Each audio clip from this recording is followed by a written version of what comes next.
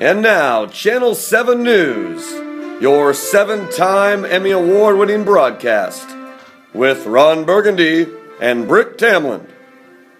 Good evening. Welcome to Channel 7 News, your number one Paris news network. I'm Ron Burgundy. And I'm Brian Fantana. I'm Brick. Thank you for joining us tonight.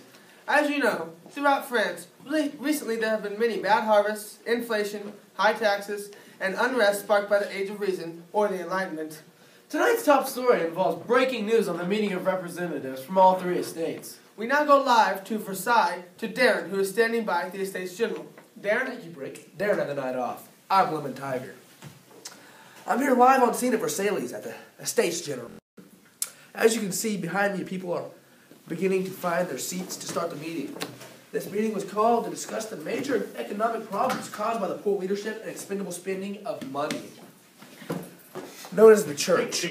They make up about 1% of the population. The representative for the second estate is a noble, noble man.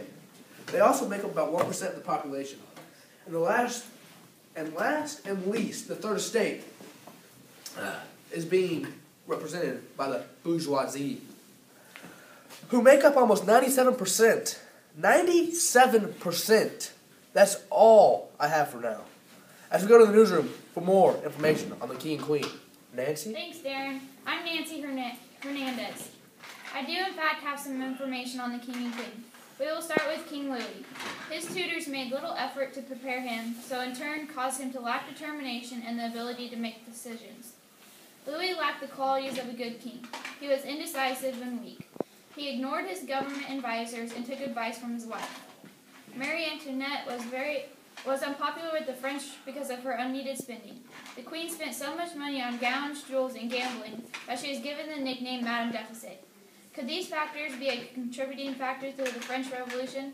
Stay tuned to Channel 7 News to find out. Back to you, Britt. thank you, Nancy. What a lovely description of the royal family. It most certainly was, Brick. In later news, a small child has fallen into a well and cannot get out. Brick? Um, yes, that is a very tragic statement, Ron. I would not like to be that kid. I've just caught wind of a new story. Evidently, a National Assembly has been created at the Estates General by the Third Estate. For more, we go live to Lemon Tiger, who is standing by in Versailles. Lemon? I'm Lemon Tiger. Yes, that is correct. Last night at the Estates General, the Third Estate's delegates decided to declare themselves the National Assembly and pass laws and reforms in the name of the French people. What do you think you're doing? What are you doing? This all just night, in. man? It appears This that the is Third my Estate place. delegates have You're just been all locked out of the meeting you room. You can't be in here. Get out. Get out of here. Oh, and they've locked themselves in the old tennis court. I would assume that they would carry on their duties of declaring themselves French citizens. We all know how badly the bourgeoisie and the rest of the third class inhabitants would like that. Stay tuned to French's number one news station, Channel 7, for more on this ecstatic event. Wow. Thank you, Lemon Tiger. What an exciting development. Breaking news! An angry mob has gathered outside the newsroom and is heading towards the Bastille. We got a Big Papa who is live on the scene. Papa? Hi! I'm Big Papa! And people are just tearing down the Bastille like crazy. I don't know what to think of this. I mean, I, they're just, they're tearing people out. They're, like, look at these people. Look at them. They're just tearing it. Oh,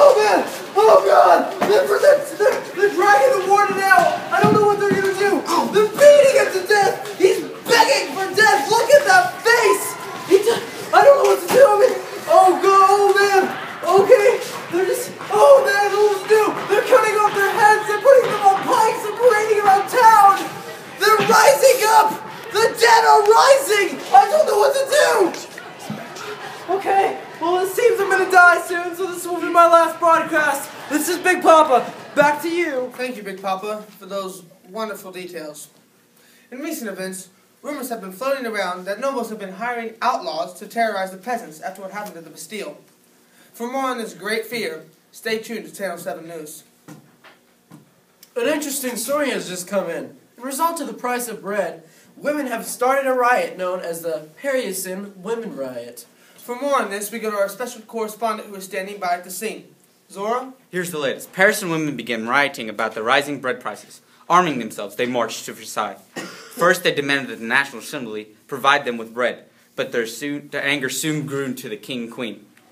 They broke into the palace and started killing all the royal guards, demanding that the king and queen return to Paris. As you can see, they are returning on foot with the king and queen captive. The women of the also have the royal guards' heads on pikes. What will they do when they return to Paris? Will the king and queen meet the demands of the people or try to make a run for it? Back to you, Rob. I told him a hundred times it's wrong. we have been informed that the king and queen have been forced to sign the Declaration of Rights of Man and Citizen. Rick, can you tell us a little bit more about what's in this document? I most certainly can, Ron. In France, the people of the Third Estate have made a document called the Rights of the Man and Citizen. It reflects the influence of the Declaration of Independence of the United States of America. It states that all men are born free and remain equal under these rights. These rights include liberty, property, security, and resistance to oppression. It also guarantees citizens equal justice, freedom of speech, and freedom of religion. Revolutionary leaders have adopted the slogan liberty, equality, and fraternity, although this did not apply to everyone. Breaking news! The king and queen have been reported missing. Stay tuned to Channel 7 News. For now, we're signing off from Channel 7 News. You stay romantic, Paris. I'm Brick. And I'm Ron Burgundy. Dang it! Who put a question mark on the teleprompter? I told you, anything you put there, he will say!